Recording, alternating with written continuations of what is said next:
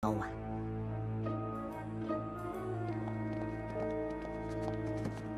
remember, when they start talking about how awful women are, we storm the stage, call them out on it, and then we'll go viral and the show will be canceled. Welcome to Bar Table Talk. Fellas, what's on your mind today? Is it me, or does it seem like no one knows how to coil a garden hose anymore? Remember sports guys you liked? Oh, yeah. Totally. I like those guys. Um, you know what? Let's take a break. We'll be right back. Oh my god, it's happening! What's happening? Ah, what are we doing?